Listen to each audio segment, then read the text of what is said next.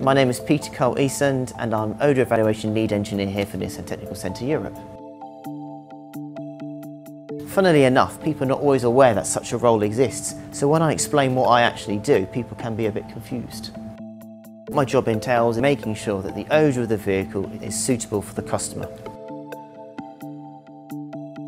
Calibration for your nose is very important. You need to make sure that you are constantly training it and ensuring that you can always pick up different tones.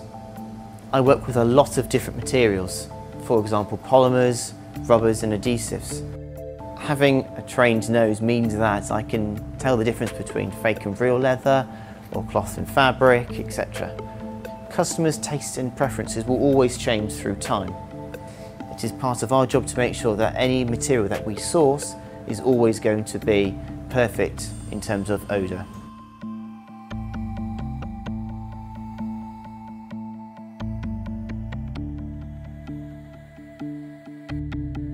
The development period for any new vehicle can be as much as four years, and we are always at the very start of that process.